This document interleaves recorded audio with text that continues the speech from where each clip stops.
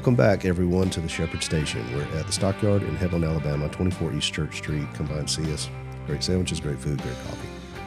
Uh, all our coffee is provided by Mural City Coffee. If you can't come see us, go see Zach and Destiny in downtown Dothan at Mural City Coffee. Really, really good people. Great place to hang out. Joining me again today, as always, is Andy Hughes and Thomas Brown. We have a really good show prepared for you today, I believe.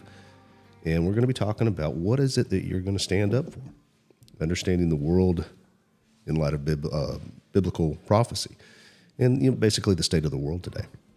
And with that being said, Thomas, could you pray over this episode so we can really, Yeah. you know, let the Lord be with us today Yeah, and kind of guide us? Yeah. God, I just pray that uh, you give us the words to speak and that uh, as we're navigating this topic, that it'll be something that will really um, benefit somebody else, help them walk through their life, become better men, become better fathers, whatever it is that they need in order to lead their family, lead well in law enforcement or um, in public service in general. Father, just pray that you are over this whole entire situation and conversation. In Jesus' name I pray. Amen. Amen. So, kind of a touchy subject, and uh, not everybody wants to talk about it. You know, at our church, uh, our pastor is very strong in this belief. Are we in the last days? Uh, so, kind of hitting things as we go. Maybe little mini categories here. Are we in the last days? And the reason that I'm asking this is because I'm kind of bring something up after we talk about this. What do you think, Andy? Do you think we're in the last days of existence? Well, I think the uh, the people back in Jesus' time, or after Jesus ascended in, back into heaven, I think that they thought they were in the last days. Also, I think we've always been in the last days to a, to a certain extent, but I think now more than ever, more biblical prophecy has been uh, has has unfolded and has become true than in years past. We're seeing a lot of different things now that are happening that would lead us to believe that we are closer to the end times and in the last of the last days more than ever.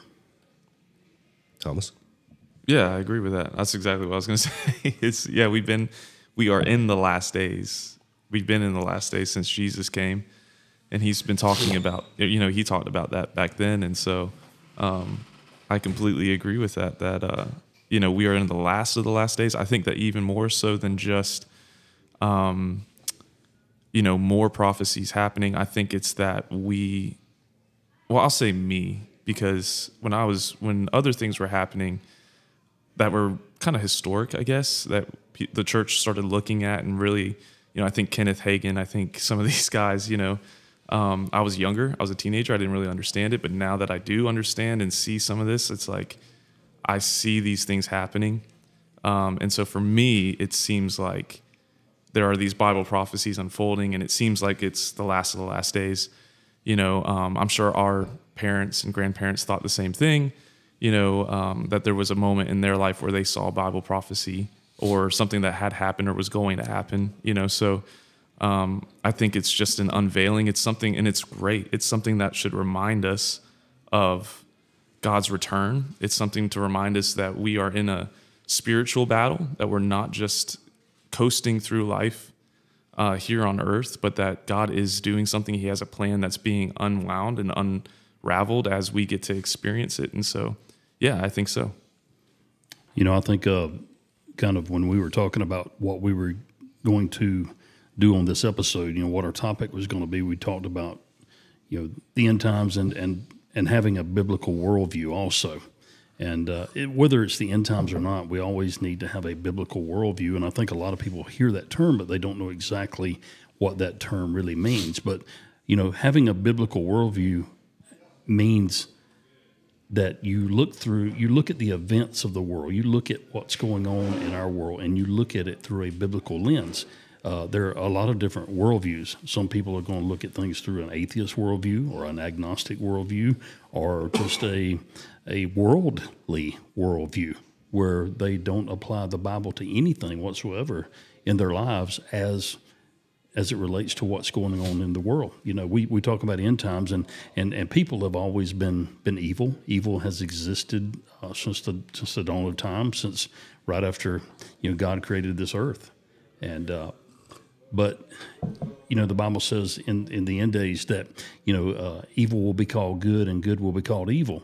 And I don't think that I've ever seen this. I'm, I'm 56 years old. I've never seen the world as it is today as it pertains to that particular statement. There is so much out there that uh, is evil that is being called good or normal today, Uh, and vice versa.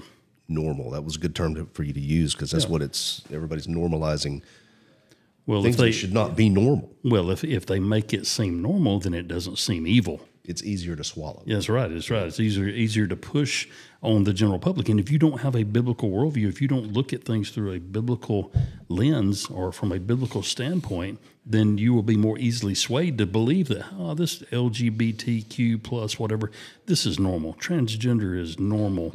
Um, evil in general is is normal. You know. Uh, Yeah, and I think something that's different about where we are today too, because a lot of people will say, um, "Well, the, you know, you look at the Romans even back then. There's that, that whole thing. It's like how how many times a day do you think about the Roman Empire? right? Like we think of if you think about that, it's like they they normalized. I mean, in their life, it was completely normal to do exactly what's going on today, and there's a lot of correlation there. However, the difference between America and Rome and even other nations is that we started out with a worldview that was not that, that is now being shifted. You know, the culture is now shifting into that, where Rome was always that way, and then there was the Jewish state that was a part of that, that that was taken over by that. But um, we live in America, which was founded upon biblical, you know, uh, principles, and so over time, those biblical principles are being kind of you know, not kind of, but really trashed and thrown out the window, you know, which is a completely different concept than what happened back then. Well, they turn. They try to turn. Or I say they. We keep using general vague notions here. Whatever you want to call them, left Democrats, cabal. I, I don't. It's care. the ideology. I think The that's a good way to put it. however It's you the wanna put it, ideology. it's just it, it's Satan. Satan. yeah. Okay, the Incarnate. however- yeah. has watered down so much stuff for us as Christians that we now look at. Well, that's just normal. So I mean, that's the way you know a lot of us grew up on certain issues. But it's gotten to the point now that, like Andy said, you got you know the LGBTQ backslash hashtag whatever movement, and you know transgenderism. You know, you've got people that are sitting there, you know, approving the mutilation of their children to, to change them at you know five, six, seven years old, and they're wanting you to accept that and say, well, no, that's okay. But we we watered down so much that we've gotten into this point where what is good, what is evil, what is wrong, what is right, and the only way to f- get back to that is to get back to what the book says. Mm-hmm. You know, we have to get back to the book. I've been reading this book. Can I I'll give- real I'll- quick? I want to go further than just the LGBTQ and trans because I think we talk about that a lot. Yeah. I think we got to be careful not to just, you know, talk about one issue and not, you know, there's there's a whole lot more going on in our culture than just that. Oh, that is calling absolutely. evil Absolutely. good and good mm-hmm. evil. So don't. Hopefully, we're not saying you, people aren't thinking like, hey. We our sole motive is just to wipe out that movement. It's No, not that. absolutely not. It's there's Sin is more. It's- sin. Yeah, Yeah. sin Well, is sin. So like, sin is sin. And people the are reason- sleeping around. I mean, like there's a whole No, lot that the sexual morality world is um, calling. uh, evil. There's murder. There's you, you name it. The sin is Yeah. is running rampant. I use that one because that's you know one of the ones that you know everybody's seeing in media. right. And I just wanted to mention. No, that- absolutely. that, I'm, though. look, Yeah. I make no judgment on anyone. I'm going to sit there and say, and that's what this book that I'm about to tell you about kind of stands for: is what are you willing to stand up for? Look, I love I love mankind. I, I have understood now that as much as I quote, you know, when you become a cop and you've done it for so long, and Andy can affirm this, you get cynical to a lot of things, and you have to fight that cynicism. You have to try not to be that way. So getting cynical with that, a lot of times you, and I've said this in the past, you don't necessarily want to deal with people that much, even though that's what you're doing, because you you deal with their their their help me out with the word here uh, their toxic crap all the time. I mean, it's the best way I can put it. Kind of lost where I was going with this, but uh, you know, I don't make any judgment. I, I've understood that you know the reason that we did this is because we do love people. We want to serve people. We want to And now I want to serve people in a different way because I want to bring God into their lives. I want to bring Jesus, you know, bring them to Jesus. I can't save you, Jesus can. If I can bring you there, that's my job. That's what I'm supposed to do. But we have to stand up and we have to take a stand on what God calls evil. And whether or not you are a homosexual or you're a, a trans, I don't I don't judge you for that. I, I pray for you because I hope you understand the book that I read, the Bible, says that that's not right. And I have to take a stance against that. I have to take a stance against murder. I have to take a stance against um, uh, theft. I have to take a stance against sexual immorality. You know, I, we all have pasts, but what advice I would give to young men today stop chasing every woman you see. Look for the one. Look for the one that God gives you. Stay away from the sexual immorality. God sits there and talks about how he hates sexual immorality more than anything in the Bible.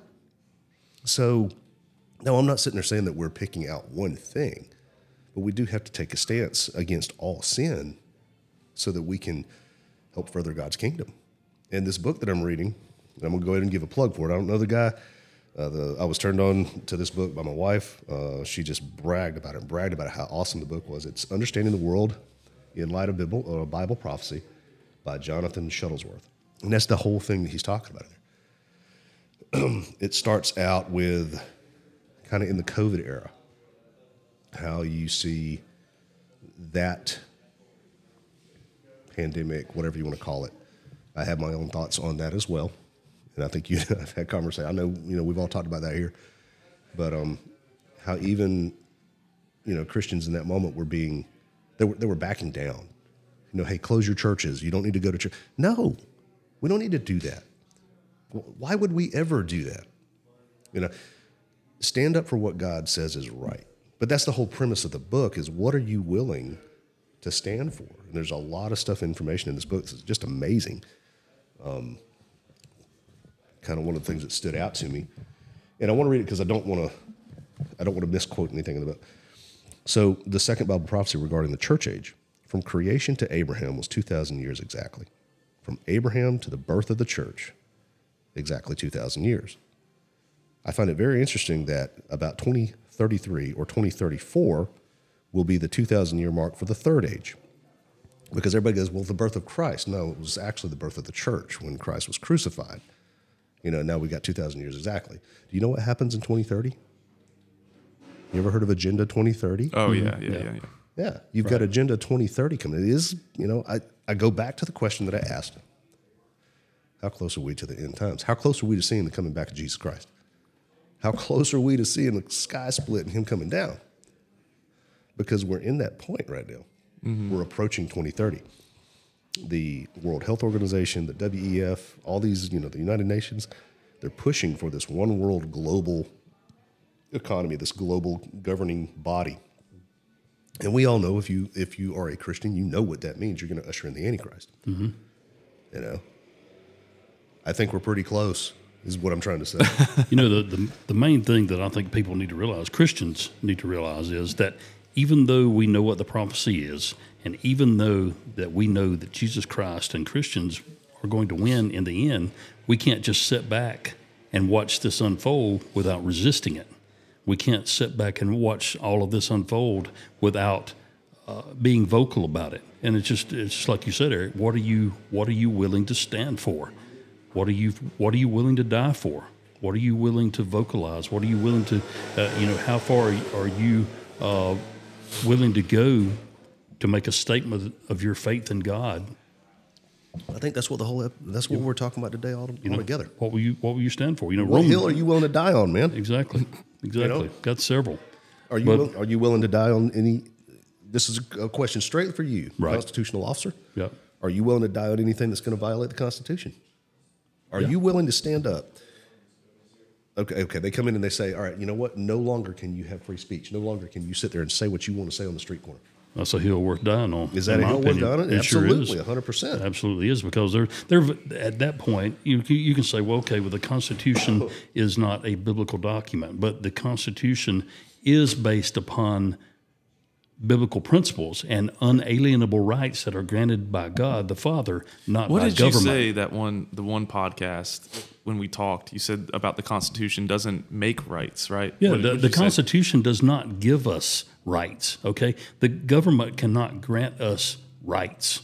What the Constitution does is limit the government from infringing upon your rights as citizens of the United States of America. A lot of people don't realize that. There's a lot of lawyers, a lot of a lot of uh, government officials, and a lot of uh, politicians that don't realize that either Right. but they need to realize it. They need to know what the Constitution a- actually means. And I'm no I'm no expert on the Constitution, but you know, coming from a law enforcement background, I have dealt with the Constitution for a number of years, and I've tried to study it, uh, especially the Bill of Rights. You know, Well, we have to because you know in, in our line of work, well, I mean, you know what happens if you violate somebody's constitutional rights, especially if you do it willingly. right?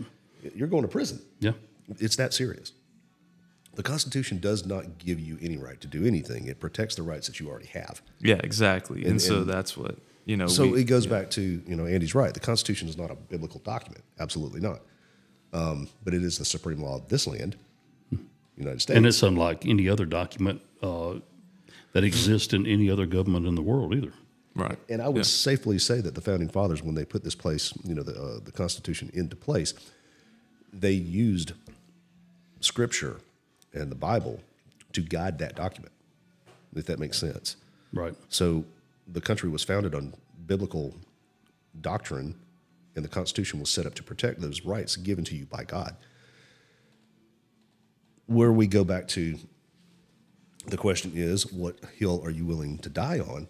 And now understand, again, I have to say this so often, I'm not talking about let's rise up and have, you know, an armed revolution. I would not, no, not at all. But at some point, we're going to have to stand firm in our belief. Yeah. My belief is in A, every word that comes out of that Bible, B, the Constitution and what it stands for. So, what am I willing to, to stand for all the way up into the loss of my life? There's many things that I'm willing to stand for. You know, that brings me to an interesting, interesting point. This is something that's been on my mind all weekend long. But some of these people are about to drive me absolutely crazy about college football. okay? I- you know, I, I mean, really. You Are know, we let- going there? and- We're gonna go there. Let, let me get it. let me get Careful, this- you might lose some listeners there. Come Yeah, I on. don't this is care. fresh. I don't. I don't Pull care. that Band-Aid off. I don't care. Listen, you know, I enjoy a competitive athletic sporting event as much as anybody. I love to watch a good football game, a good baseball game, a good MMA match. Absolutely. Uh, you know, whatever the case may be, track and field. I mean, I love competitive nature, and I love people who who devote their lives to perfecting their craft. You know, in, in athletics. But you know, I've heard so many people, especially this past weekend, this college football playoff crap going on and all, and they're cheering about their team and they're you know going against the other team, and you know people are making these just totally idiotic Facebook posts about their team, and I don't care if it's Alabama, if it's Auburn, if it's FSU, uh, you know Michigan, I don't care who you are, but they're just making totally idiotic Facebook posts about football, you know what they're for and whose team they're against. But how many of these same people, especially Christian, I'm talking to Christians right now, how many of the people that are making these Facebook posts that are Christians, do you ever see anything on their Facebook page or, or vocally or, or whatever the case may be or in public about them decrying evil? How many of them out there going, I stand for good against evil instead of I stand for my team against their team? How many people do you see out there that are saying, you know, I'm against, I'm, I'm for God and I'm against Satan? I'm against child sex trafficking. Yeah, exactly. I mean, how many people do you see out there that are doing this on their on their Facebook page or making these kind of public statements? Are they standing on a hill? Are they they're willing to stand on a hill to, to virtually die for their college football team against somebody else's college football team? But they won't stand up for what's right and what's wrong, what's good and what's evil, what's God versus Satan. Come on, people. That's all I got to say about it. I, I've, I've had to work and listen to these rants before people. Trust me, he's, he gets passionate about Man, that's stuff. good. But no, he's, that, you're absolutely correct. You know, you got guys that will sit there. Now, remember something too, man. You know, Tyson said it. Everybody's, you know, there's too many people getting comfortable with disrespecting people You know, Yeah. not getting punched in the face. On- something on like social that, you know, on media, social yeah. media, you know. Yeah. I mean, so people are going to get on social They'll, media. they'll say things to people they would never say to their face. Yeah, exactly. Like that's the Because there might be some consequences. Exactly. Yeah, Keyboard well- warriors, but they're not going to stand up and say, hey, man, you're wrong and blah, blah, blah. because right They're going to get and knocked in the what's nose. crazy you know what's really crazy is that the number one fear people have is public speaking Mm-hmm.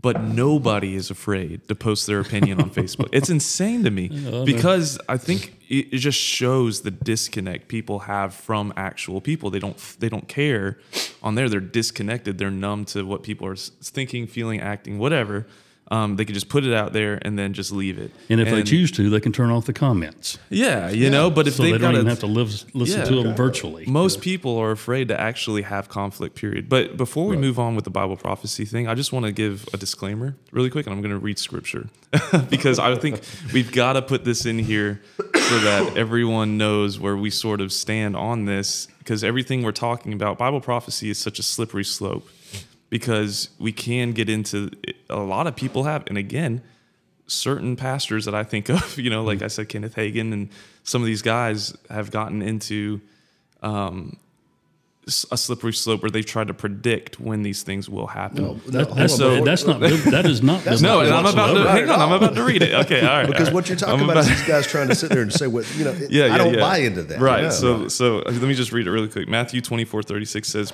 This is Jesus. He says, But concerning that day and hour, no one knows. Here's, who's, here's who does not even know.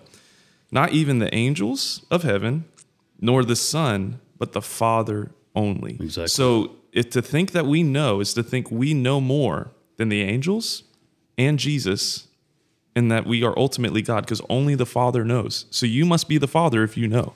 No, absolutely. And no, no, no, no, no. We don't know yeah, yeah, anything, yeah. so- I know that, and that's why I wanted to put that disclaimer out there. Is like, I'm- look, I'm none of us are saying- saying when these things are going to happen. None of us know. Nobody knows. and if we think we know, we're probably more wrong than we think we are. Yeah. Right. However, there are signs and there are things that happen that can set that tell us, hey, they were like I said earlier, they remind us we are in biblical times. Like but the Bible is being is being unfolded all the time. If we just look around, One, we can one see it. and I don't mean to interrupt you. One thing that, and maybe it's me getting older. I don't know. Andy said it. We've always been in the end times. You know, Yeah. at the birth. I'm sorry, at the birth. At the, at the resurrection of Christ, when he when he ascended to heaven, we have been in the end times. Every one of the disciples believed that they were going to see the return of Jesus. Correct. Everybody, they're all nodding up and down. Yes, yes, sorry. we all have faces for radio. That's not why we're not. That's why we're not on video yet. Uh, but no, they all thought that they were uh, in the end times. We should. And that's the big thing that has been coming up to me lately. And again, maybe it's because I'm getting older. I'm getting closer to my death. Who knows? Whatever. Should we not always be feeling like we're in that end times? We should be living that way. We should be professing the name of Christ. We should be Mm-hmm. an example to the people that around us to glorify God in everything that we do, say, yeah act. and i say it this way all the time is if if you truly believe we're in the end times no matter what i believe about the end times if i believe that i'm in the end times the way i live should not change depending on how close jesus is coming it should be exactly the same now as if you were coming in an hour I think the only thing that should change is your excitement level might get a little bit. yeah higher. yeah like, If you- yeah if you knew your excitement level my gonna get a emotions would bit change higher, for yeah. sure so You know, Romans 12, 2 says, And do not be conformed to this world, but be transformed by the renewing of your mind, so that you may prove what the will of God is, that which is good and acceptable and perfect.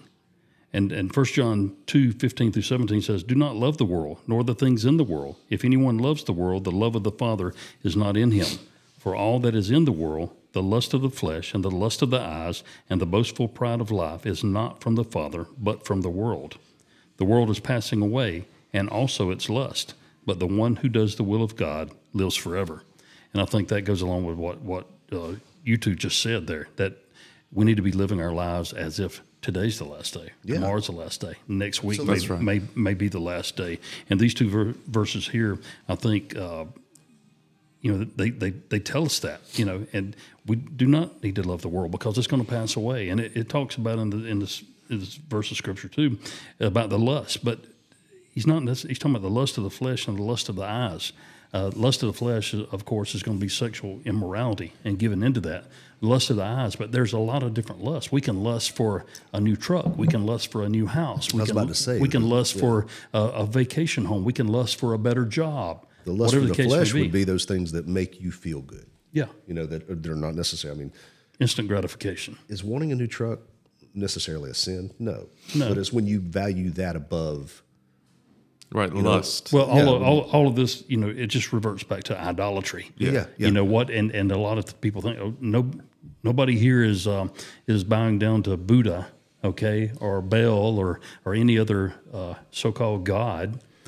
The ones with the little g, not the big G, like I said before. The real God, the one and the only, the first and the last, the Alpha and the Omega.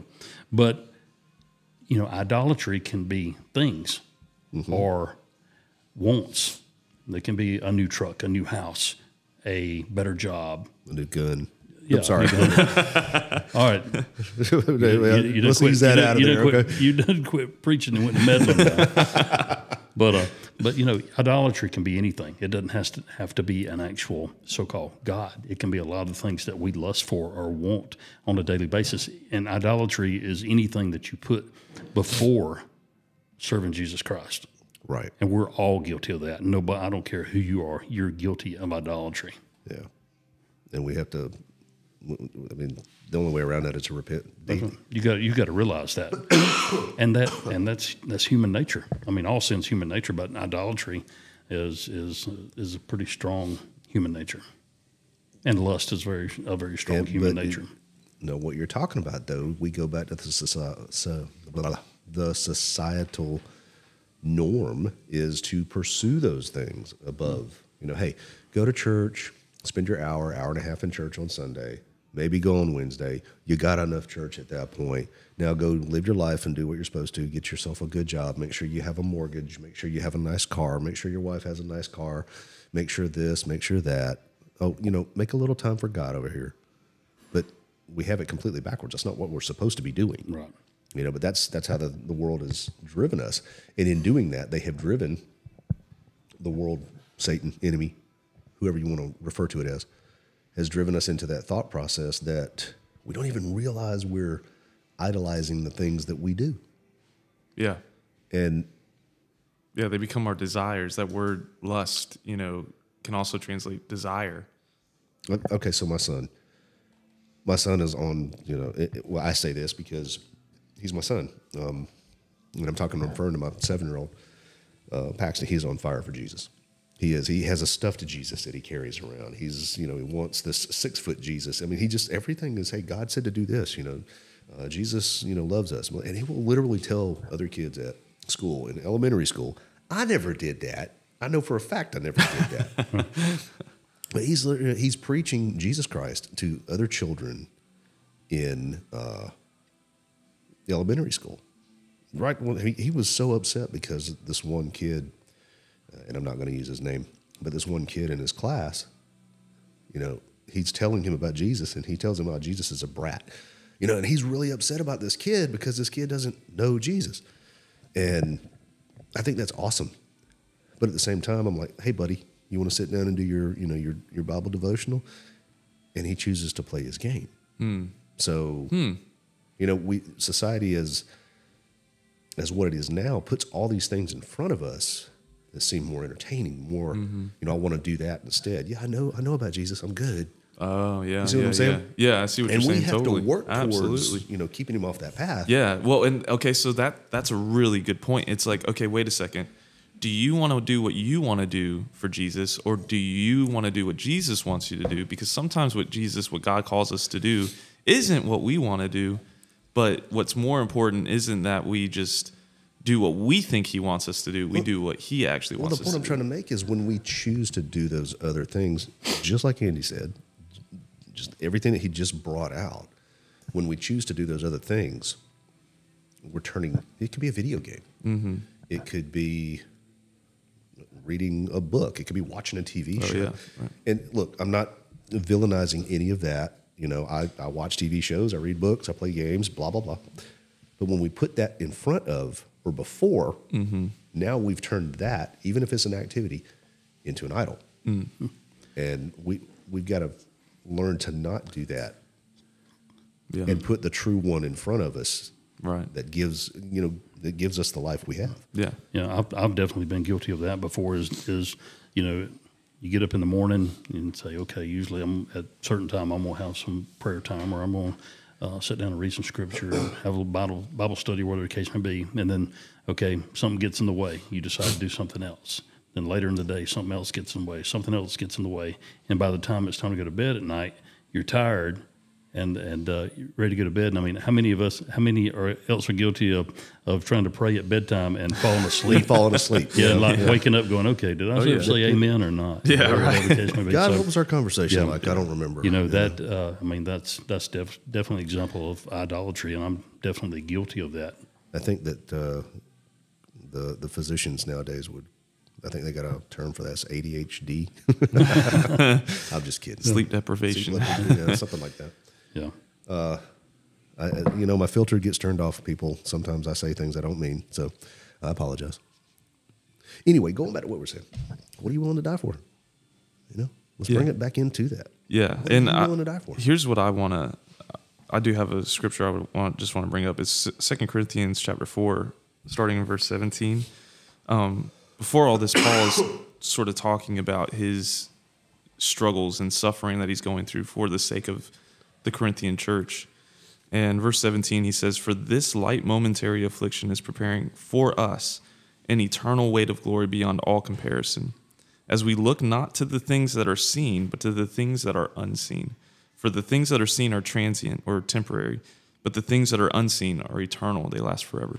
So, in all of it, you know, if, and I want to speak specifically to like, and this, I was just thinking about this yesterday the war in Israel, like what's going on in Israel, like COVID, all these things that happen that are just like, I mean, world shifting things, right?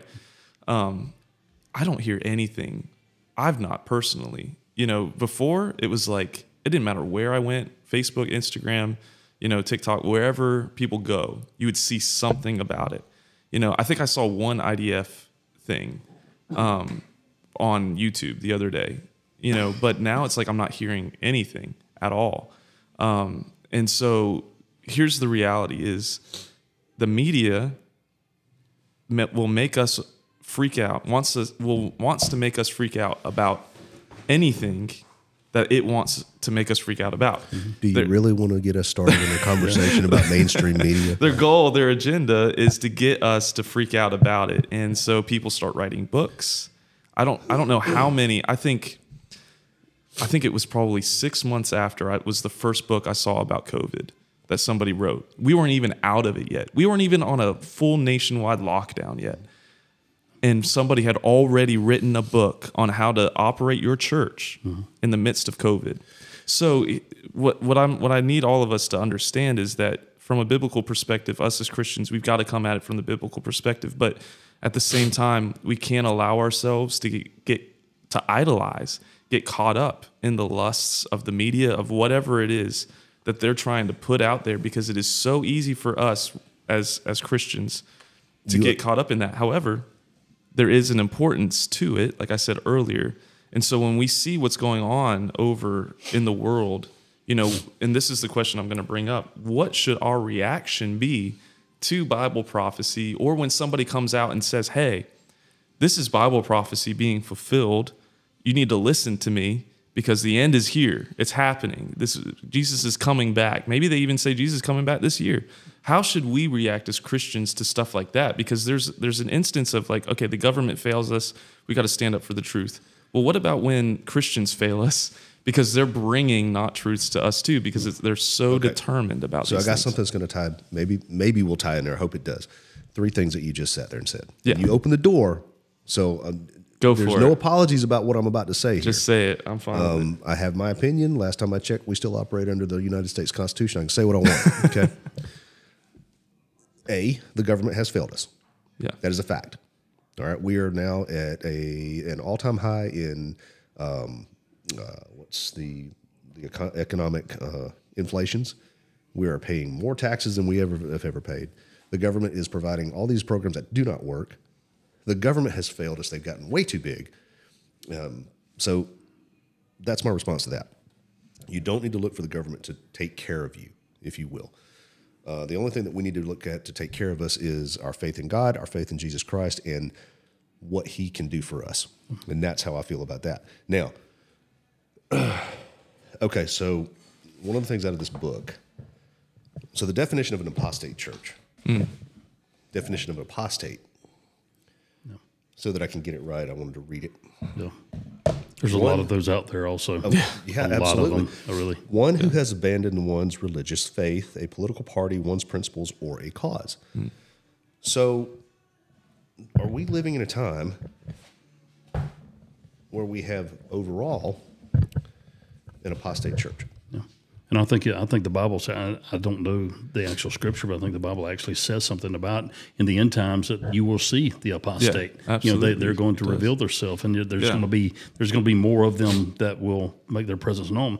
You know, I think, and, and relating back to what Thomas was just saying a minute ago, how do we how do we determine what we're going to follow, what we're going to believe, whether it be mainstream media, whether it be social media, or whether it be uh, you know someone of the Christian faith in the Christian church.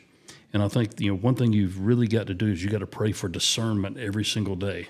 You know what you hear. You know your diet. Like I've seen people talking about, your diet is not only what you eat, It's what you but it's take in. what you what you take in also, whether it be uh, visually or or or you know by ear or Yeah. whatever the case may be. But we've got to pray for discernment. You got to ask God to say, "Let me please give me the wisdom to determine what of all of this is actually your truth.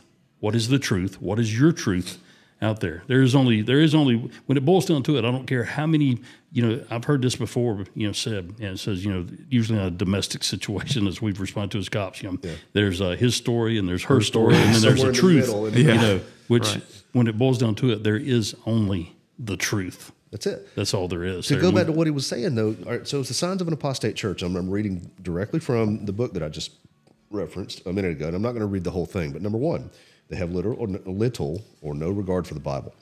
Number two, and there's a whole context after that. So Right. I mean, you need to read the book.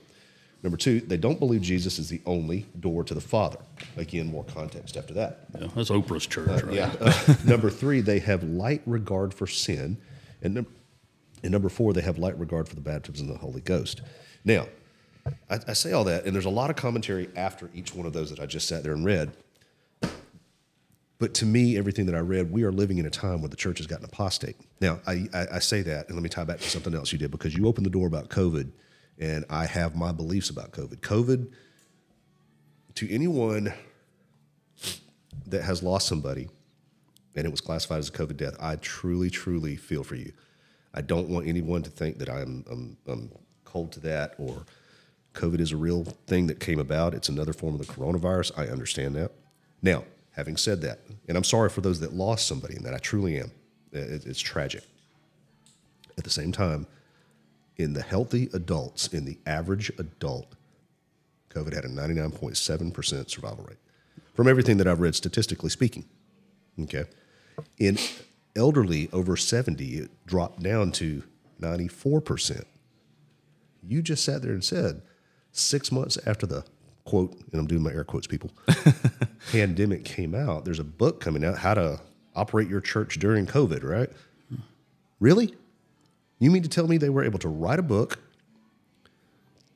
uh, publish it, and get it on the shelves in six months after the pandemic started? Just like they were able to manufacture a another air quote vaccine. You know, the normal process for vaccines is years, not months, which tells me a few things. Personally, I think COVID was put in place to test responses. All right. I'm not saying COVID wasn't real. I'm saying COVID uh, Might have been a tool. You know, Yeah, co- co- good, good, good way to put it. Might have been a tool. Yeah. Mm-hmm. All right, and you had churches that were shutting down, and and this goes into what are you willing to stand for? Because I mean, I'm I'm gonna put you in a, pl- uh, in a in a scenario, Thomas. Let's say our pastor steps down, retires, whatever. You take over church. You're the you're the pastor of Gateway Church, and the government sits there and says, "Oh, we're in another pandemic. Oh my goodness, are you going to shut the doors of the church?" I'm putting you. I'm putting you on the spot. no, no, we didn't. I mean, I was there for it in the midst of it for a little while, you know, when I came in as the associate pastor, and that was never the option, you know. Okay, well, I'm going to go further. The World Health, whoever, whatever agency is out there saying, no, you got to do this, you got to do that, blah, blah, blah. There's all these mandates. You got to do this. Or, Thomas, if you don't shut your doors, we're going to put you in jail.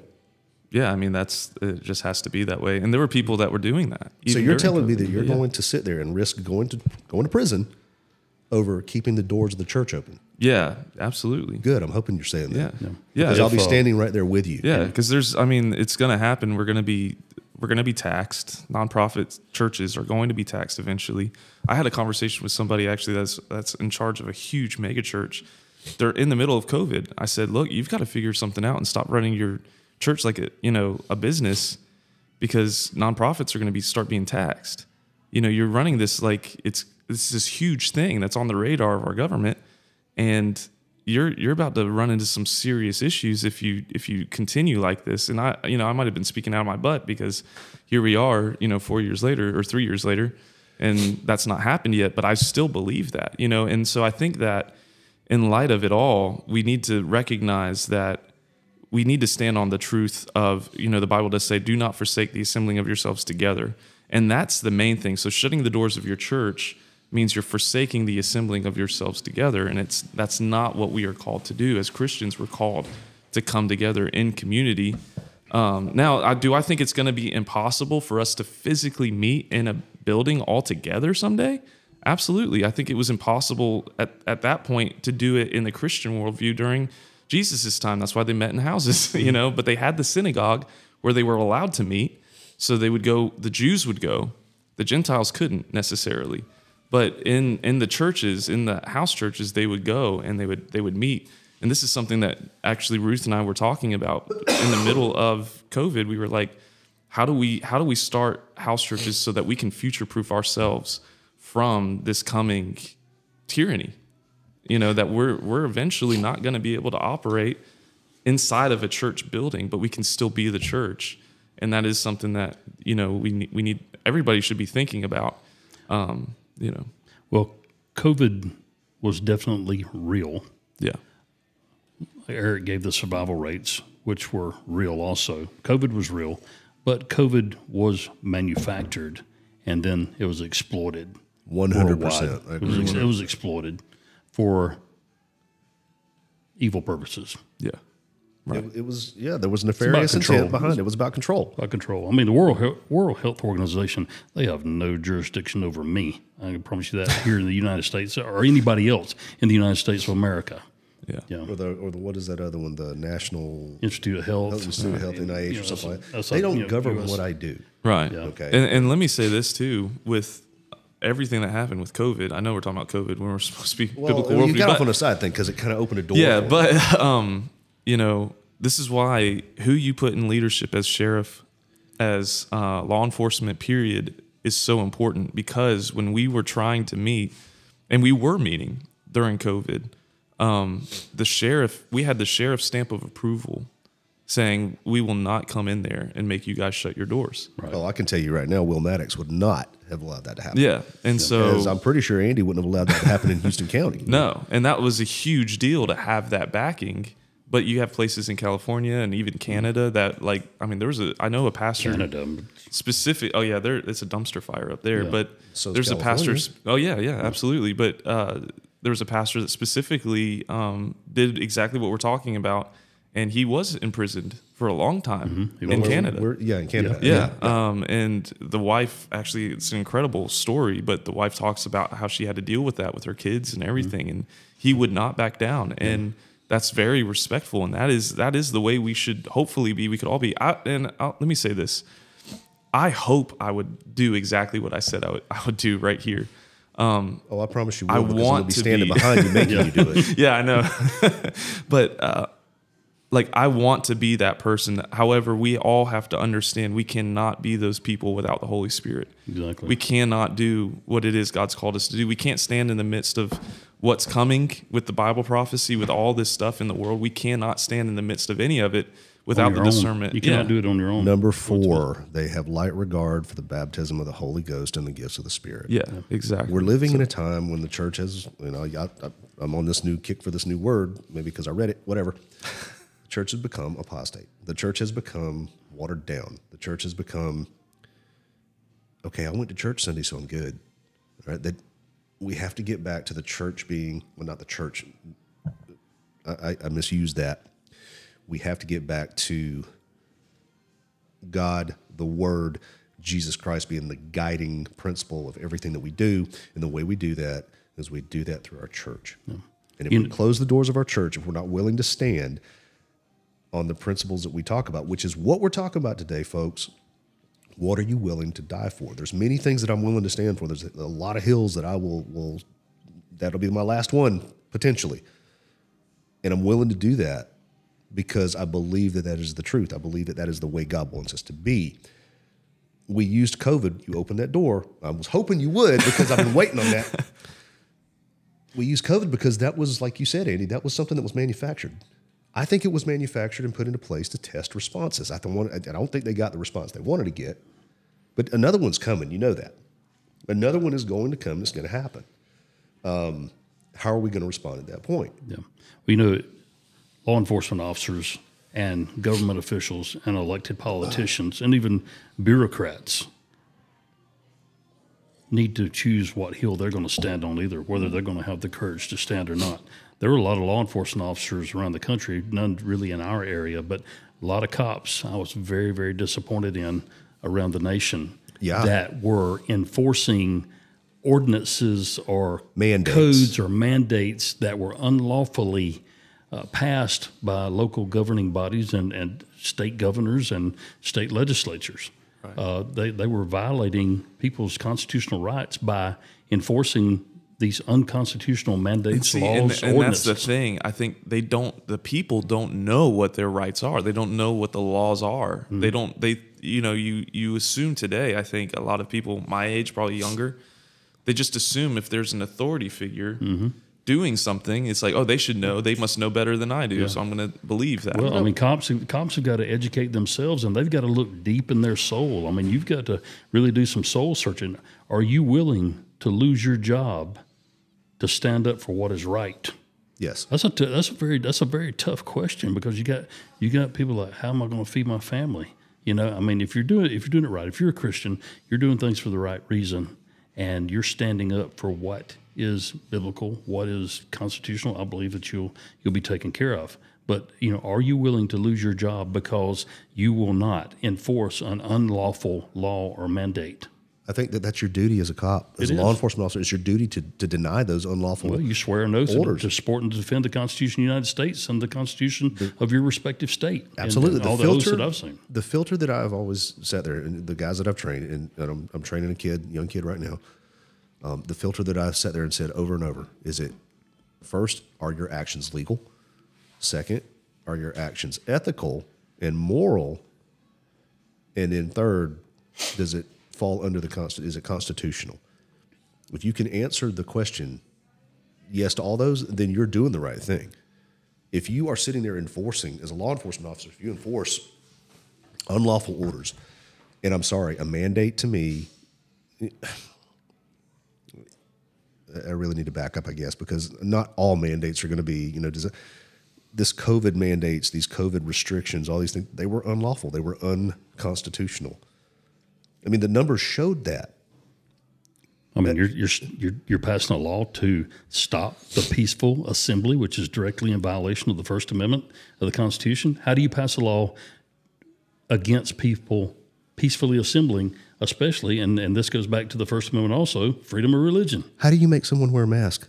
Yeah, he did. I mean, really, I get it. Okay, we don't want to spread transmission of this. Uh, Then, if that's the case, why weren't we doing and wearing masks for the last forty years? the masks were worthless anyway. I mean, Well, of course really. they were, but you had some places where cops were actually escorting people out and Mm-hmm. arresting them for disorderly conduct or other charges because they refused to put a mask on. Mm-hmm.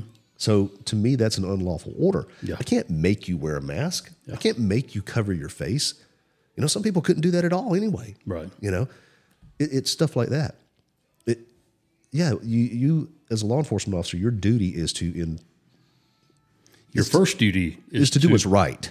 is to protect people's rights. Yes. You know, it's not always about writing somebody a ticket or putting somebody in jail. More of the time, uh, a, a law enforcement officer should make sure that people's constitutional rights are being protected. Whether you know you've got to watch yourself and your and your people that work with you to make sure they're not violating constitutional rights. But on top of that, and, and that's the way most cops look at things is like, okay, we can't violate anybody's constitutional rights. Uh, you know, I can't let another law enforcement officer uh, violate someone's constitutional rights. But I don't think cops look at it from the perspective of, I can't let this other person over here or this government body violate this individual's constitutional rights. Right. And I want to I want to come back to that because that's that's a really good statement you just made. And I think police officers and law enforcement really need to think about what we're talking about here because they are the ones that are going to st- that stand in the way. That they they are the ones that um, s- that bridge the gap between what we are able to do and what we're not able to do as Well, let- people. Let, me give you a And- thought right there, real quick. Yeah, go you, ahead. And we'll let you go on. As you see things progress, though, there will be laws that will be, and this is just my opinion. Uh, you know, I think in, in the future there will be laws that will be passed that will be what I consider an unconstitutional law. Um, I believe that Andy would feel the same way that some of the laws that will be passed will be unconstitutional laws, and there will be officers that will, you know, they're going to task local police, local county, all this with enforcing that stuff. Yeah, because the federal government does not have the resources to enforce these laws No, yeah. across 330 million and population. you will Right, right. have local, state law enforcement officers. I personally see it that will walk away from the job. Okay, so there'll that's be a handful. exactly there'll what be a I was handful gonna that will stay and that Yeah. will do this stuff, but you will see. uh, I dare say a majority. I that hope will so, walk away you and say, "I'm not doing that Yeah. because it's not right." That's right. Well, And- it, it all yeah. boils down to leadership. You you can have legislative bodies, whether it be a city commission or a, or a county commission, a state legislature, or the United States Congress, pass unconstitutional laws, wrongful mandates, whatever you want to call them. But it all boils down to law enforcement leadership and what direction they're going to lead their troops in. Are, are you, as a chief or a sheriff or a state highway patrol commander, going to stand up and say to your people, "This is wrong. we not are not enforcing. We are not enforcing this law." go back several years. I'm going to use this. You know, we we, we we're kind of going down all these different avenues, and I like it. It's it's good. Um, let's go down this avenue, and I'm going to put you on the spot, Andy, because you were actually there.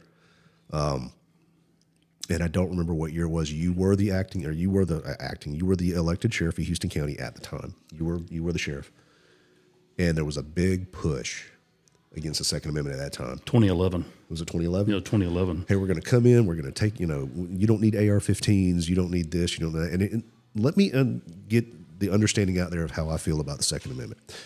To me, the Second Amendment is probably more important than the first because without the Second Amendment, you cannot defend any of the others. Okay, the others exist because of the Second Amendment. Yeah. Now, again, 2nd I'm- Amendment stops tyranny. yeah, Or should. absolutely. I'm not sitting there saying that we take up a bunch of you know arms and we go aside. That, that's not what I'm saying. I don't agree with that. That's just that's a just in case uh, an emergency break glass. But kind of- yeah, if you read the Constitution, that's what it's written for. Um, ha- having said that, personally, I think if you are a law-abiding, legal uh, citizen of the United States, where we have that Constitution in place, if I want to own a freaking, you know, F-15 fighter jet, if I got the money, okay, you know, that's a little bit extreme, but anyway, we go back to 2011, and they- they've got this big push against the quote assault weapons Um, and you know we could get into a conversation about that down the road. I can assault you with a rock, but um, we get into this big push with you know we're going to take the assault weapons, we're going to do this, we're going to do that, and Andy sat there and said, in Houston County, we will not enforce any unlawful laws that are passed. I don't remember how you put it, but it was basically saying no, we're not going to do that here. Yeah, yeah. I, was there were there were a lot of sheriffs, but uh, I was one of the first ones that signed a uh, signed a petition or signed you know something that the sheriff's association had sent out uh, to to to back down. It was Obama at the time. Yeah. To back down the Obama administration and some of their unconstitutional gun laws, and, and you know they were trying to trying to mandate that you know sheriffs and police chiefs were to enforce these federal laws, and uh, just said, "No, nah, we're not going to do it." So let me ask you this: uh, Fast forward now, that was back in 2011. Fast forward to, to now, we're about to hit 24. No. How do you think people would stand now? And when I say people, how do you think uh, law enforcement administrators and leaders would stand now? I think they should be even more adamant than we were in 2011. No, I get that. I, I understand that. But how do you do you think it's watered down enough now that you got some people that would back down? I think I think you got a lot of chiefs. Uh, the thing about the thing about the office of the sheriff, and I'm not going to say that they're not sheriffs that have bowed down to the cabal, if you want to say, or the, the whole ideology, like term. the whole ideology, or, or big government, the federal government. There, there are some sheriffs that have went along with some of those mandates and unconstitutional laws. I'm not saying there's not, but generally 99.9 percent of your sheriffs are elected officials, and they are held accountable only to the people. Yeah. You know, you've got a you've got a few places that have an appointed sheriff. Actually, uh, Dade County, Miami, uh, just they they went to an appointed sheriff uh, back in the 70s. I mean, about 75, I think. And this year they're going back to an elected sheriff for, for Dade, Dade, County. And I think that there's 14 individuals running for the office of sheriff down there now. But a sheriff in particular is someone who is going to stand up for uh, people's individual freedoms. Chiefs can be fired by a, uh, a city commission. Uh, they could have a you know majority vote with the city commission and, and put a chief out of office, but you can't do that with a sheriff unless there's some type of wrongdoing and the governor removes them or the people vote them out. Which goes back to the way the country should be being run. It should be run by the people. Yeah. Understand. The, the, sheriffs, sheriffs across the nation should be standing up for what's right, what's constitutional. They should be standing up for their constituents. And, and that's where I want to stand on what yeah. I'm saying. I'm look. It, I almost feel like I'm being anti-government myself. I'm not being anti-government. I, I love big this, government. I, I, love this country. This country pro is limited government. I, am I'm, I'm pro limited government the way that our our founding fathers designed our country to be. Yeah, uh, America's weak, weak central government, stronger yeah. local government. And, you know, the states are supposed to govern themselves. Uh, I'm not anti-American. I love this country. I'm American, blue-blooded through and through, and, and I'm patriotic for our country. I'm not anti-government. I believe that our system of government is probably still the best system in the world. Right.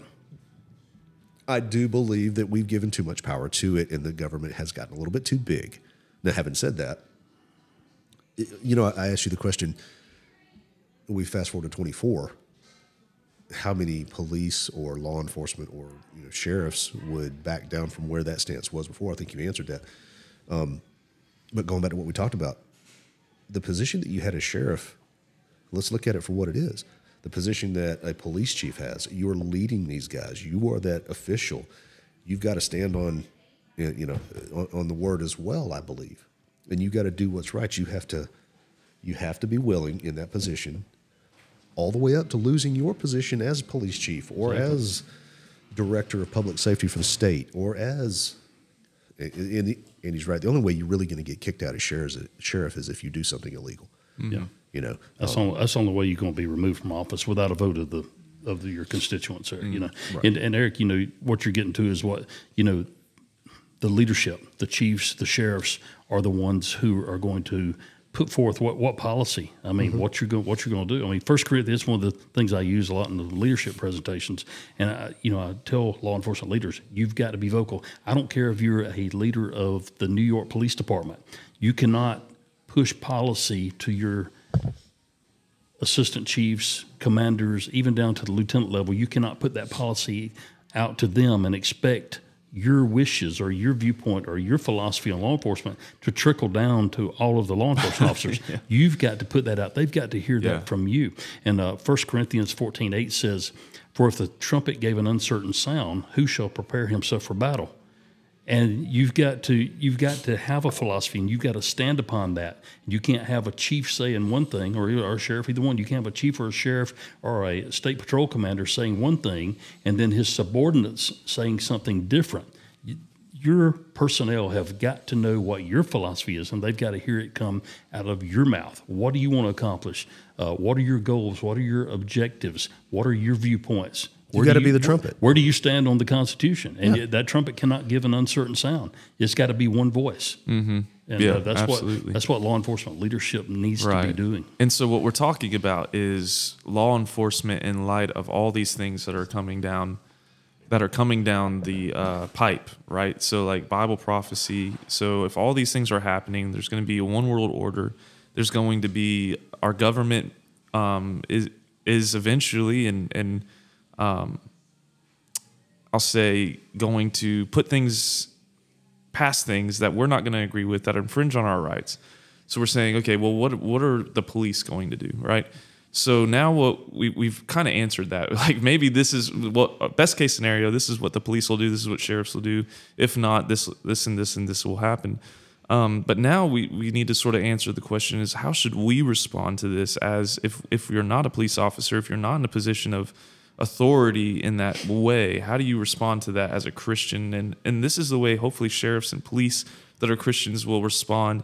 Um, I'm going to read scripture. I'm just going to read um, Matthew 24.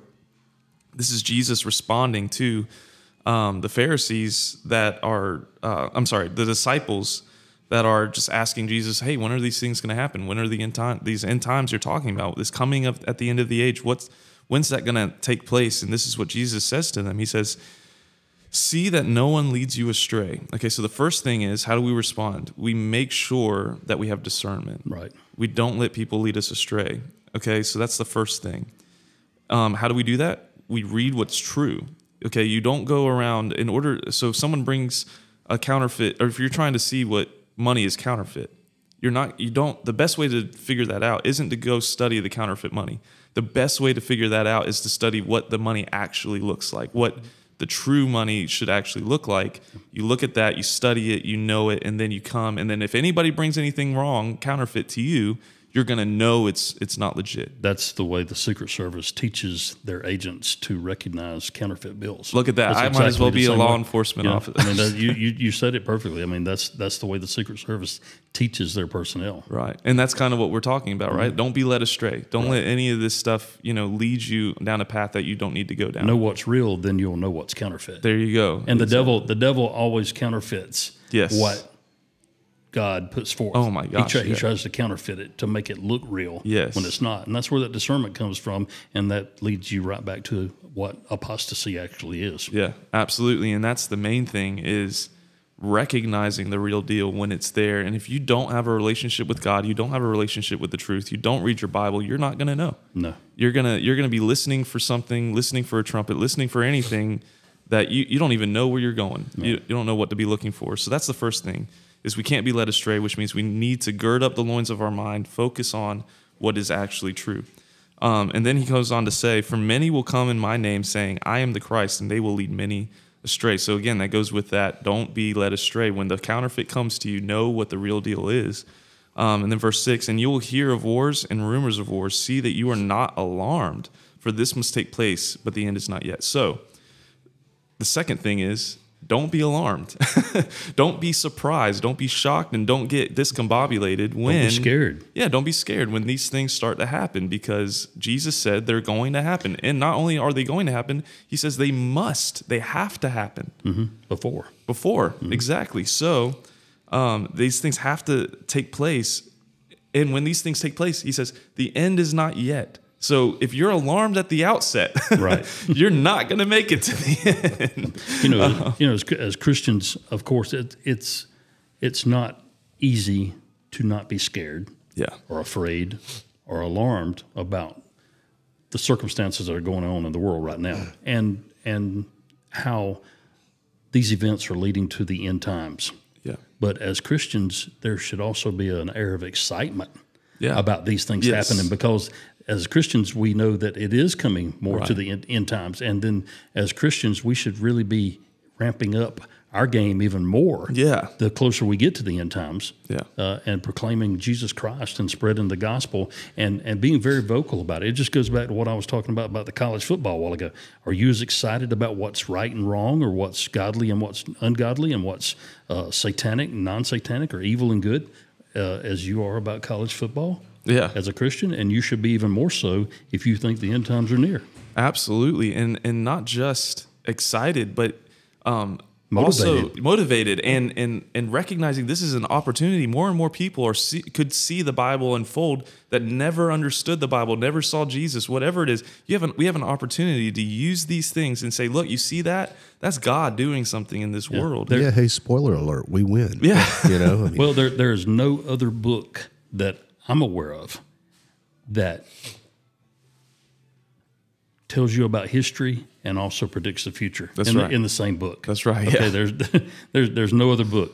Yeah, yeah. Not even uh, there's no other religion that makes prophecy the way the Bible does. No. Um, and the people will will think there is because there must be, but there's not. especially prophecy that comes true. that comes true. Yeah. No. Absolutely not. There- Um, there's no other book that has ever prophesied anything that Yeah. has actually come true. Absolutely. Now there are books that have made prophecies in a way, mm-hmm. but they're not. They've not come true. Right. And and that's the main thing. And so that's that's it, right? Okay. So there's that. Okay. So first, don't be led astray. Second, don't be alarmed. Okay. So then it says, "For nation will rise against nation, and kingdom against kingdom, and there will be famines and earthquakes in various places. All these are but the beginning of the birth pains." Okay. Um, so that's the beginning, right? Again, then they will deliver you up to tribulation and put you to death, and you will be hated by all nations for my name's sake. And then many will fall away. Okay, so here's the third thing we don't fall away. Right. Okay, so don't be alarmed, don't be led astray, and then don't fall away Stand tall. stand tall. Yeah, don't be the one that that um, you know, kind of like how Peter did, right? And and not that we're saying we're better than Peter, but you know, Jesus told him, "Look, when the before the rooster crows three times, you're going to deny me. Okay, things are going to get bad, and you're going to deny me." And he says, "No, no, there's no way, not at all. I, I won't be that person. You've told me." He straight up told Peter, and Peter still did it. Okay, so for us to sit here and be like, "Ah, we're not going to do that," you know, I know what the Bible says and stuff. You, you, that's why it's so important. Like I said, again, I can't emphasize this enough. To be led by the Holy Spirit, I was not about to say the same thing. not be led by not your will, your that. emotions, your instinct, your own passions. That it doesn't work. yeah, It's you're not going to be able to do that on your own strength. No, it's got to be God. So in order to not fall away, we've got to be led by the Holy Spirit. Yeah. Um, and so many will fall away and betray one another and hate one another, and many false prophets will arise and lead many astray. And because lawlessness, okay, will be increased, the love of many will grow cold.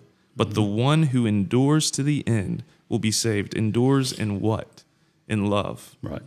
Exactly. You know, I think uh, before the end times come, whether it's two years from now or five years or 20 years from now, I think our nation and, and our world, but Christians need to realize uh, there's going to be some hard times. There's going to be some tough times. And uh, all of that stuff out there, that new truck and that, that, uh, that new house and that great job and everything, all those things are going to fall to the wayside because none of those are, are really going to matter at that point. I, I really don't. I don't believe that Christians will be here for the tribulation. I believe the church will be taken before the tribulation actually comes. But there are going to be some really tough times prior to the tribulation, also, especially for Christians. And uh, we need, need to make sure we always stand up for our faith. I mean, because it's just like uh, just like the Bible says, you know, if you deny me, I'm going to deny you before my Father. And here's the deal like what you said is all throughout church history, that's been the norm to suffer for Mm-hmm. Right. Jesus, like to suffer, to be persecuted, to be, you know, The, pri- the prize is not now. The prize is eternal. Yeah, exactly, exactly. So for us to expect that we're going to escape any suffering in the name of Jesus is, I think, wishful thinking. Um, you know, it's clear that as Christians, if we're going to truly live according to Jesus, the the way of Jesus, you know, to follow His path and to do what it is He's told us to do, um, we're gonna suffer If and we're gonna see things we gonna- don't want to That's to not even wishful thinking. That's delusional. Yeah, it's mean, delusional, it's- absolutely. You're, it's not the way that it's going to be. Right. You're right, Andy. There's going to be a lot more suffering that comes up. Again, in my opinion, and if you read what we do, it, it has to. You know, when when certain things take place and the Antichrist does take over, you know, if you're left behind, whatever, you know, however you look at that, you know, look at it the way the Bible says it you know, you're not going to be able to buy, sell anything without the mark. You know, what kind of suffering is going to take place at, you know, at that time? You're not going to be able to feed your family, you know, do certain things. So I don't think Christians are not going to have to worry about that. I, not everybody who sits there and says, "Hey, I'm Christian," is going to be there though. Right. Oh, that's true. You know, I mean, that's it's, definitely true. It's just because I sit there and say, "Yeah, I, I prayed the prayer. I, I'm a Christian. I go to church." That doesn't necessarily mean I'm going to, you know, where's your heart? You know, that's it comes down to, and that's something I was thinking about today. You can't. You can't only be. You cannot only be, uh, be a believer. You got to be a follower. Also, Yeah. you know, like I said, you know, uh, I heard a comment about atheism one time. It said, "Hey, even the devil wasn't stupid enough to fall for that." Uh-huh. You know, he believes in God. Yeah.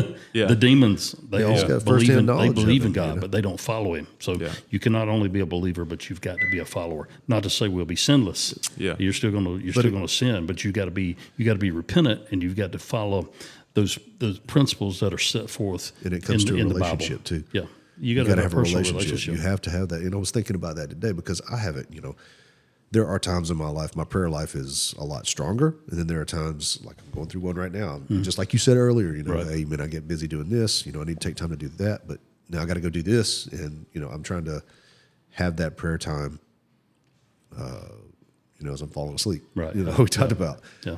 But it comes down to the the thing that kept popping in my head this morning. And guys, I'm sorry, I, I sound nasally right now. I'm battling sinus problem. Uh, I can hear it. That's great. Yeah, That's that's great. like that's all. sniff. Hey Thomas, do not go. do not edit that. Yeah, we need that in there. I want Yeah, people to leave that understand that. I don't care. Y'all, I, I got sinus problems. I the don't sound care. of snot. There you go. But no, it comes down to what I was thinking about was you don't. Ha- I didn't have that. Not all the time am I praying as much as I should, you know. And we should pray without ceasing. You know, we've heard that many times. How do you do that? That it's hard to do. The verse that came to me this morning was, eh, "Depart from me, I never knew you." Mm, yeah. which means that there has to be a relationship there. I have to have that relationship. If I don't have that relationship, the only way you have that relationship is through you know through your prayer life. Mm-hmm. You know, God's got to hear you, mm-hmm. not just you going to God, going, you know, hey man, God, you do, can you do this for me? Yeah. You know, God, I really need this. Will you, I'm praying for that. You know, heal this. Give me that. Blah blah blah. Yeah. You got to have a relationship, and a lot of times that is, man, I'm just talking to you, God. Yeah. I used to have conversations with my dad, and a lot of times it would be, you know, hey, I hadn't talked to you in a little while. You know, what's Mm-hmm. going on, this and that. But I got so much out of that, Yeah. and that's what you got to do with God. Absolutely. And and John Jesus says to know God is eternal life. So, you know, a lot of people think that it's just oh, I just got to believe that God exists and I'm saved. it's like no, that's not it at all, you know, it's so much more than that. To know God is eternal life. And so to know somebody, you've got to spend time with them. You've got to know, you've got to want to know them. You've got to want to uh, have a relationship with them. You know, I could be married to my wife but never spend time with her. Is that really marriage? No, probably not at all. She's not going to stay married to me very long. You know, um, but if I if I marry her, I'm going to spend as much time with her as I possibly can, so I can know her. Because that's the part of marriage. That's what it is. It's to be married is to know my wife, and so um, you know that's where it all boils down to is do you know God? But yeah, I think that's all really good stuff in light of how we should react to biblical prophecy being fulfilled. And and like we started off talking about when we see these things, you know, first off, we can't get caught up in it. We can't let the media dictate our belief about it. We can't and when I say media, I don't just mean mainstream media because there are other people that are also trying to lead us astray and are caught up in it that you could watch on YouTube, you can you can listen to their podcasts, you, whatever it is. We can't let media dictate our beliefs about things or our um, our emotions about things because there are a lot of people that get bent out of shape and, and get alarmed at what's going on and in order to keep a level head we've got to think for ourselves we got to pray and read the bible for ourselves And as, as as men, you owe that to your family also. Absolutely. Not not only your your immediate family, but your extended family and your your friends and and the ones who, you know, there's a lot of people that that look up to certain people. You know, and and uh, a good man is often looked up to by uh, numerous individuals, not just his family. So uh, we we owe that to other people to remain calm and to using our discernment and our, our prayer life and, and reading the Bible and knowing what is actually right. And we need to make sure that we profess that openly also. Yes. And and that brings me up to a really good point, which is there's this man Rick Burgess. I know everybody probably Oh, around here knows who that is. Yeah. Um, he started the Man Church, and he has this really great teaching that he does um, with the Man Church. The first opening, the opening night that you do it, you'll see a video of him, and he talks about um, That is powerful. how there are only men that the only thing they have to offer their families in time of desperation is a sports game uh-huh. or knowledge about the deer that they went out to go hunt, you know, mm-hmm. or whatever, or, you know, that's all they have to offer them. And he says, but if you could sit there and actually, you know, or they're looking, uh, he talks about his son that, that drowned uh, in a pool, his two year old son. And while they're standing in the hospital, you know, he didn't have the option to say, you know, hey, where's the pastor? Let me go get the pastor, or let me let me find somebody that can speak into this situation. It was him. His wife didn't want anybody. She didn't want the pastor. She didn't want anybody. She wanted him, her husband, to be there. Yeah. And he had to have something to offer in that moment of solace, of of safety, of of encouragement, of of any kind of hope beyond what it is that happened right there. And most men, especially if you don't have Christ, all they have to offer is their job or you know their their hobby, whatever fishing, whatever that thing is. If it's your life, that's the only thing you have to offer people. But if God is your life, because Rick was a Christian and he was devoted to that, he had something more. He could actually provide something for his family and say, you know what?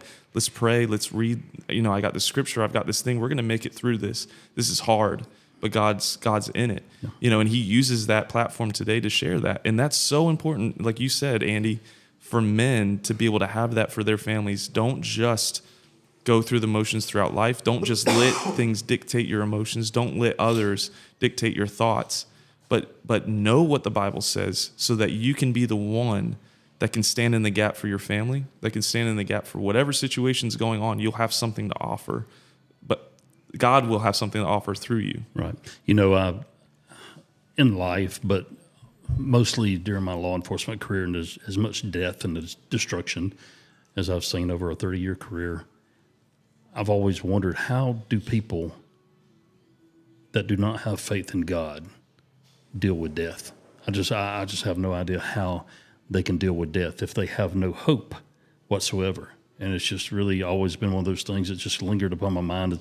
Like, how, how do how do these people deal with, with death with no hope? You know, and and going back to what you were saying about a man needing to be the one to to be strong for their family or their their friends or their their coworkers or whoever in a in a time of trial or trouble. You know, there's a saying says always uh, look for the calmest guy in the room. You You know, to it. Look for the calmest guy in the room. That's the one that you want to follow. That's it. And every every man, especially Christian men, need to be that calmest guy in the room. The one that other people can look for for strength.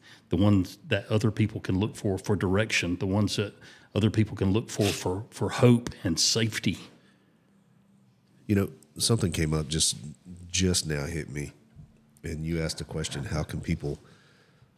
Because we have, we've seen a lot of death, we've seen a lot of tragedy, um, a lot of things. You know, we we've seen the worst side of of people in what they can do to each other. Okay, so we've seen that. How do you how do you exist without having that that belief? You know, how do you get through a lot of that? And a lot of people don't without having that belief. But it, that reminds me of somebody that it's a guy that Andy and I worked with, um, and I'm not going to say his name, but he he went through this illness and he actually died. He he literally, and I want to say he was he was gone for anywhere from four to six minutes. I can't remember. Fast forward to they brought him back, and he literally sat there and told me was it God's not real. There's nothing. He said, I died.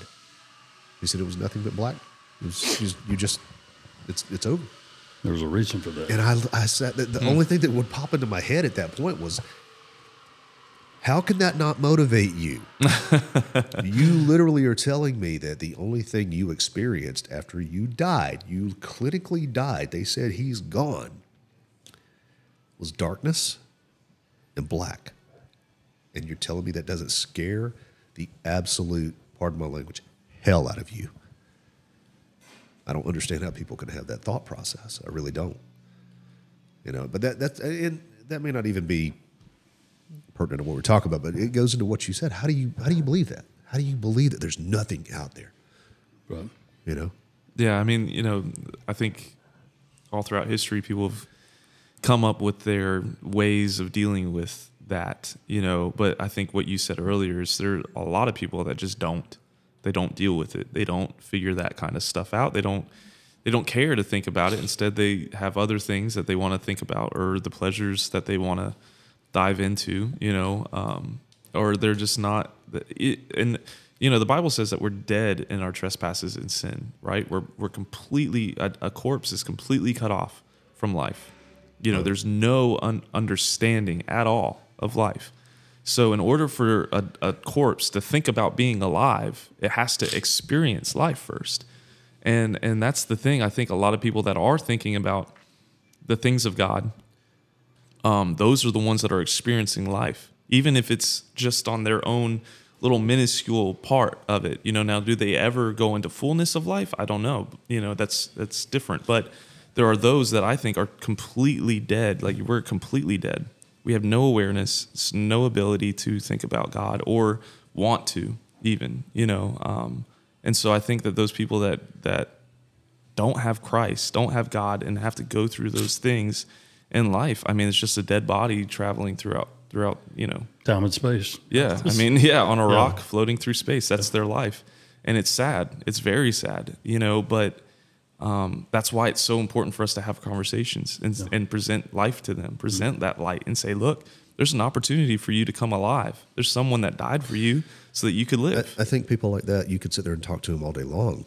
They're not going to understand that until they have an experience. no, right but the seeds in right grace is god's divine influence yeah? Yeah. so over time as things are planted in our life one day the hope is that one day that person turns around and sees this train of Yeah, yeah, influence don't get me wrong. I'm not You saying know? we should not. Yeah, You right. But it is it what I'm is saying at all, hard, But I think like what you're saying, I think people like yeah. that.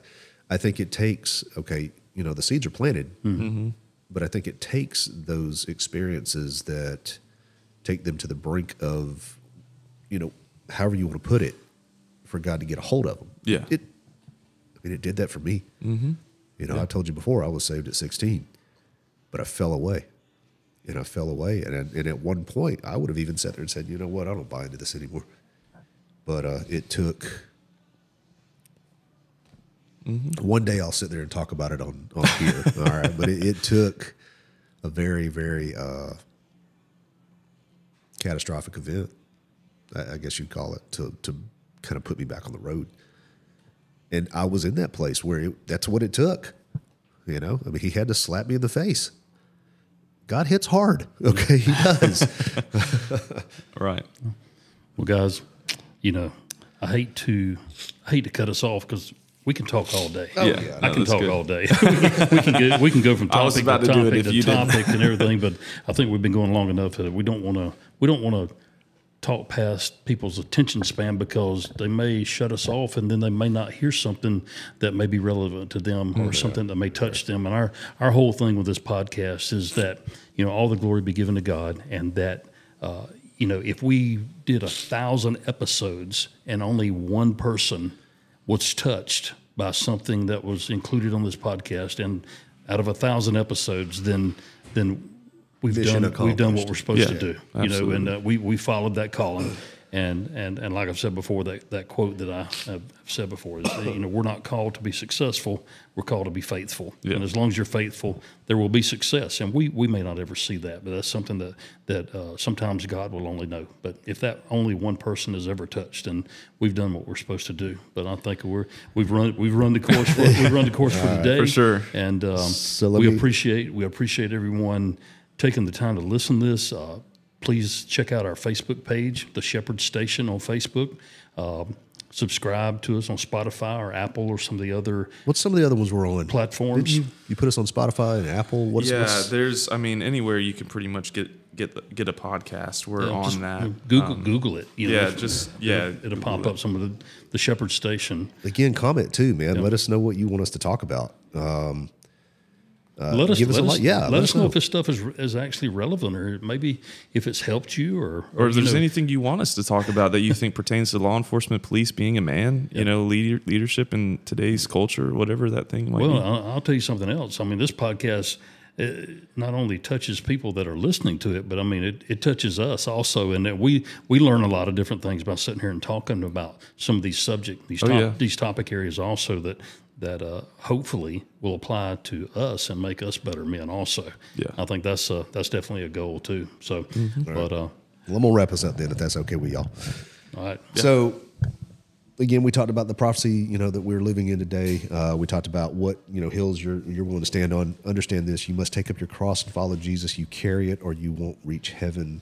Jesus said that, and that is a direct quote out of the book from uh, Jonathan Shuttlesworth. I really recommend that book. Like I said, he's not contacted me. I haven't talked to him, but the book is outstanding. Uh, take up your cross. Do what you're supposed to do, man. Learn what you're going to stand on and stand on it. Be be that that that light for people. That's what we want to do. We want to uh, we want to thank you for listening. Hope we've empowered some of you today. Hope we've inspired some of you today. We're coming at you again from the Stockyard, 24 East Church Street in Headland, Alabama. Come see us. Uh, Thomas, you started us off. You know what? I'm going to do this today. Let's close out in prayer. there you go. Amen. Heavenly Father, thank you for giving us the opportunity for uh, to to to use this as a platform to further your kingdom. We love you with all our heart. We pray that people can hear, you know, what you have put out and, and inspire them to, to be the men, be the people, be the be the women that they need to be. And we pray that your your words don't fall on deaf ears. Uh, we love you with all our heart. Go with us today as we can further your kingdom and your will be done above all other things. In Jesus' name, amen. Amen. amen.